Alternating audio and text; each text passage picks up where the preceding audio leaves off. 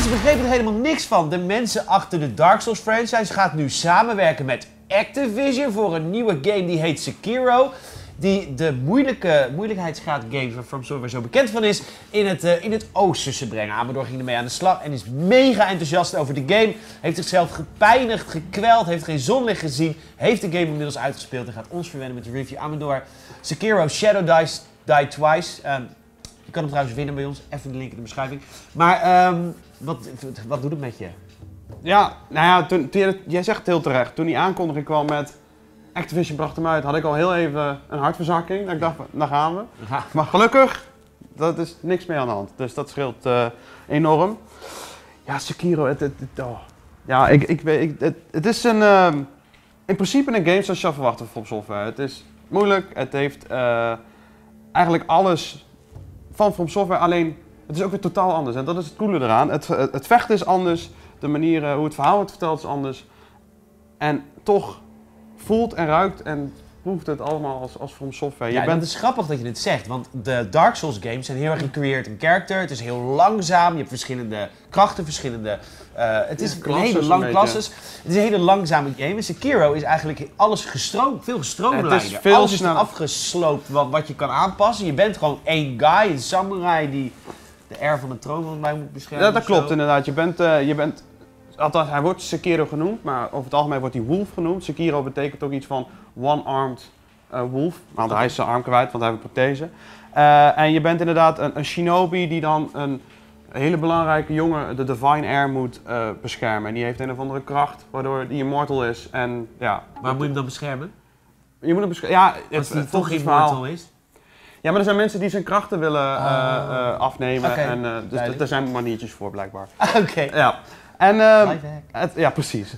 En het, aan Sekiro, het, het, het, mooie aan Sekiro is dat het een hele gestroomlijnde, echt een hele verhalende game is. Het was Dark Souls, eh, Dark Souls en Bloodborne hebben ook een heel sterk verhaal, maar die hebben dat vooral in de omgeving verteld. Dat je als je een level in komt, dat je ziet van, joh, dit en dat is er gebeurd. En je moet zelf een beetje het verhaal aan elkaar lijmen. En Sekiro is meer echt een verhaal met begin, midden, eind. En, en je kan het wat beter volgen. Dat is ook een beetje eh, het grootste minpunt van mensen die heel erg van Bloodborne en Dark Souls houden, is dat de verhaalvertelling wat directer is. Je krijgt daadwerkelijk uh, goede lines. Het is niet uit context, het is gewoon in ja, je face. precies. In je face, dit en dit, dit moet je doen. En um, het is wat minder vrijheid, maar uh, dat, dat maakt helemaal niet uit bij Sekiro. Bij Sekiro heb je eigenlijk maar één manier. Je bent die shinobi, je hebt een zwaard en that's it. Ja, en een extra wapen. En, en, en je prothese en zo. Die kun je wel, kun je wel op kiezen. Hè? Je kan een, bijl zijn, het kan, je kan een, bijl zijn. zijn. Ja, precies. Ja, de, de, de prothese die wordt uh, eigenlijk gebruikt om verschillende soorten vijanden op een bepaalde manier te kunnen ver, uh, verslaan. Je hebt uh, vijanden met een schild.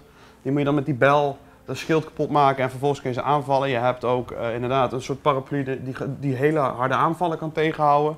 Uh, een flamethrower die uh, werkt tegen beesten die bang zijn voor vuur, zoals een ogre bijvoorbeeld.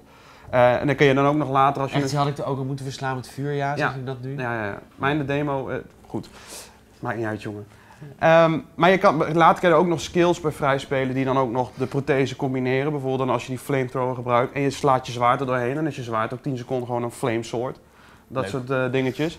Maar het is alleen wat, het is dus wat minder vrijheid qua je character creëren. Want bij Dark Souls Bloodborne is het uiterlijk, maar je kan ook kiezen voor een mage en je kan kiezen voor uh, heavy uh, attacks en zelfs gewoon helemaal naakt ook beginnen. Maar bij Sekiro is het echt, je bent een character, het is een sword fighter. En daar doe je, en je, daar doe je het mee. Goed, wat ik even kort wil behandelen is dat het ziet er grafisch amazing uit. Ja, het is echt heel mooi. echt heel ook mooi. Op, ook op de consoles. Ik heb hem op de PlayStation 4 gespeeld, PlayStation 4 Pro. En hij draait ook behoorlijk goed. Niet de 60 frames die ze hadden beloofd. Nou, ik hoorde trouwens wel dat het op de gewone PlayStation 4 op minder draait. Oh. Maar op de Pro's beter. Op de Pro's draait hij wel heel goed. Laten we even weten in de comments als je ergens last van hebt. Uh, en het tweede waar ik even snel doorheen wil, is dat het reageert ontzettend direct. Ik vind de controls, ja. Zijn, je hebt echt altijd het idee dat het ook echt jouw schuld is als je het niet goed doet. Ja, het is wel echt, het is wel, het is hard but fair. Het is uh, het vechten vooral, het voelt echt als zwaardvechten. Ja. Je, je moet uh, aanvallen op tijd blokken en als je dat op een precies het goede moment doet, dan zorg je ervoor dat je je vijand heel langzaam een soort van staggert. En uh, er is een balkje vol, zit het balkje vol, dan kan je hem in principe in één, uh, in één zwaardslag kunnen doodmaken. En dat geldt ook voor bosses. Er zijn verschillende bosses die meerdere fases hebben, maar je kan ook gewoon cheaten door sommige fases dat je ze in één keer kan doodsteken. Ja. bijvoorbeeld. Ja, als je, als je, is ook heel belangrijk in de game. En stelt zit erin, het is, eh, je hebt meerdere keuzes hoe je het spel wil spelen en dat maakt het heel erg tof. Je kan naar binnen lopen en proberen ze allemaal aan te vallen, wat bijna nooit werkt. Of je gaat sneaky in het hoge gras of via daken, want het is ook een hele verticale game vergeleken met een Dark Souls of een Bloodborne. Omdat je dan een grijphaak hebt, je kan via daken, je kan vanaf daken ook mensen bespringen en in één keer doodmaken. Maar eh, het vechten vooral zal voor veel mensen die ook van Bloodborne en Dark Souls houden, zal echt heel erg wennen zijn. Eh, ja, want laten we even bij de, waar het uiteindelijk om draait. De game is bijna onmogelijk om uit te spelen. Nou ja, niet Nou, onmogelijk, maar het is echt heel Het, het, het is lastig. Je gaat bazen echt gewoon 30, 40, 50 keer moeten doen. Ja, het is, ja, laat ik het zo zeggen, de mensen die, wat ik net al zei, Dark Souls en Bloodborne hebben gespeeld, wat zoals ik dat ook heb gedaan, die hebben er waarschijnlijk het meeste moeite mee. Want Ja, de, dat is een de- nieuwe manier van het is een hele nieuwe manier van vechten. Bij Dark Souls en Bloodborne kun je een beetje passief doen.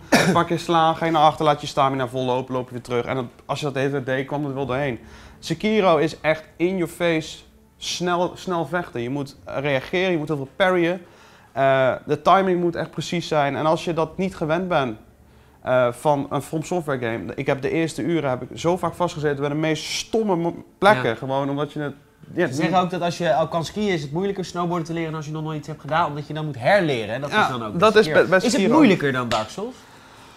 Oeh. Ik- ehm, daar hoor ik een beetje verschillende verhalen over. Eh, ehm, nou ja, weet je wat het is? Als je eenmaal het trucje in Sekiro door hebt, dan eh, kom je er wel sneller doorheen. Ik gemerkt dat ik het laatste gedeelte van de game makkelijker door alle levels heen kwam. Omdat je op een gegeven moment wel weet hoe het werkt. Als je het, het, het parryen onder al controle hebt, dan kan je gewoon echt twee keer blokken, meteen iemand doodsteken. En dan loop je zo makkelijk een level door.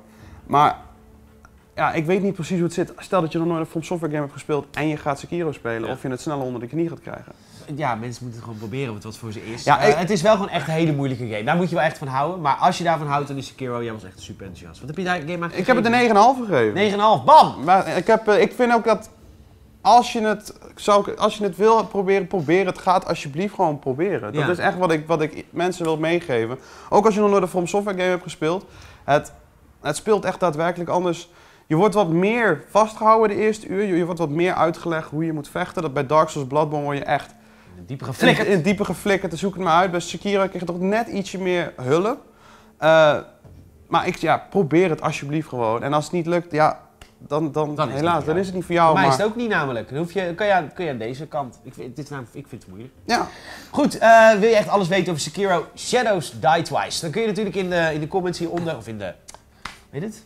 Ja. De omschrijving hieronder kun je de geschreven review vinden en je kan ook de prijsvraag vinden. We geven de game namelijk weg. Moet je even lid worden van de Games Weekly, onze eh, wekelijkse nieuwsbrief. Krijg je een overzichtje elke week in je mailbox van wat er allemaal gebeurt bij vrienden van Gamersnet. Word daar even lid van, maak je kans op, eh op Sekiro. Uh, Amador, onwijs bedankt. ja, dankjewel. En jullie bedankt voor het kijken. Tot de volgende Gamersnet review hier op gamersnet.nl.